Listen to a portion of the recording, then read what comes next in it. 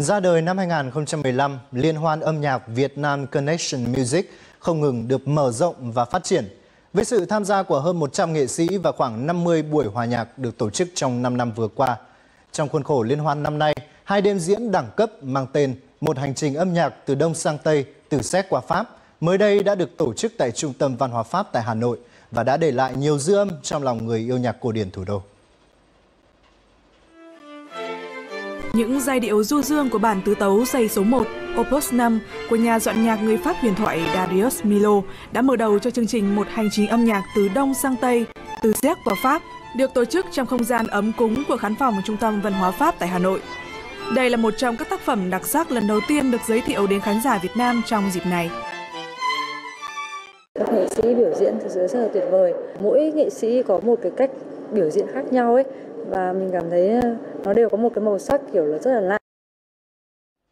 Ra đời năm 2000 ra đời năm 2015, Liên hoan âm nhạc Việt Nam Connection Music không ngừng được mở rộng và phát triển. Với sự tham gia của hơn 100 nghệ sĩ và khoảng 50 buổi hòa nhạc được tổ chức trong 5 năm vừa qua. Trong khuôn khổ liên hoan năm nay, hai đêm diễn đẳng cấp mang tên Một hành trình âm nhạc từ Đông sang Tây, từ Séc qua Pháp mới đây đã được tổ chức tại Trung tâm Văn hóa Pháp tại Hà Nội và đã để lại nhiều dư âm trong lòng người yêu nhạc cổ điển thủ đô. Những giai điệu du dương của bản tứ tấu dây số 1 Opus 5 của nhà soạn nhạc người Pháp huyền thoại Darius Milo đã mở đầu cho chương trình một hành trình âm nhạc từ Đông sang Tây, từ Séc qua Pháp, được tổ chức trong không gian ấm cúng của khán phòng Trung tâm Văn hóa Pháp tại Hà Nội. Đây là một trong các tác phẩm đặc sắc lần đầu tiên được giới thiệu đến khán giả Việt Nam trong dịp này. Các nghệ sĩ biểu diễn thực sự rất là tuyệt vời. Mỗi nghệ sĩ có một cái cách biểu diễn khác nhau ấy và mình cảm thấy ờ, nó đều có một cái màu sắc kiểu là rất là lạ.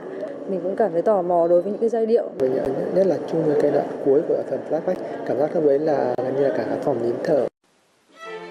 Nằm trong khuôn khổ Liên hoan âm nhạc Việt Nam Connection Music năm 2019, chương trình Một hành trình âm nhạc gồm hai đêm diễn với sự tham gia của 17 nghệ sĩ tên tuổi đến từ Việt Nam, Pháp, Mỹ, Nga, Nhật Bản, Đài Loan Trung Quốc và Kazakhstan.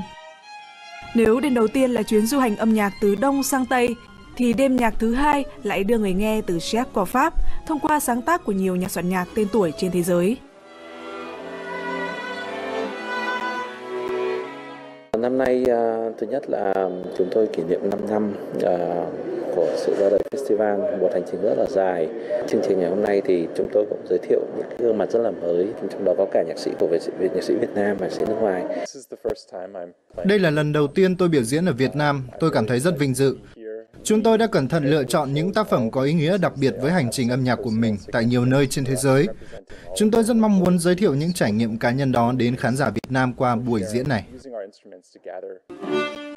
Với danh mục tác phẩm mới lạ, một hành trình âm nhạc từ Đông sang Tây, từ Séc qua Pháp không chỉ là một bữa tiệc âm nhạc hấp dẫn mà còn kết nối các nghệ sĩ quốc tế tên tuổi với các nghệ sĩ Việt Nam, góp phần đưa âm nhạc cổ điển đến gần hơn với khán giả đại chúng Việt Nam.